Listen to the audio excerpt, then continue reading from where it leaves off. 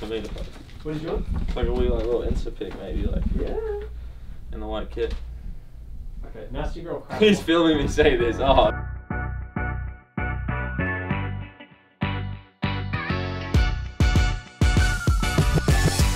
Let's go!